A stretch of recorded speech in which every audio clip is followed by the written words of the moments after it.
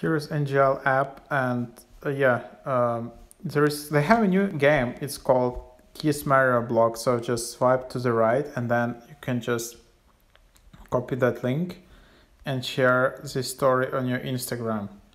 Uh, so here you can just go and then uh, paste your link here as you normally do. So tap link and then tap paste and then you can just add it here and then you can just tap close. And then if I tap on my story I can visit link. Three names for a kiss marry or block.